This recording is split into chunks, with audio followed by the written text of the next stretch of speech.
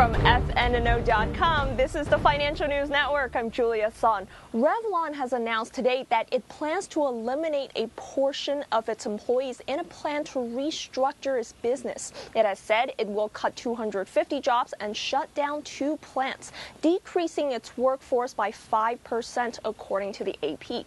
Revlon's problems are not unique, with it feeling the effects of slowdown in China and the financial turmoil in Eurozone.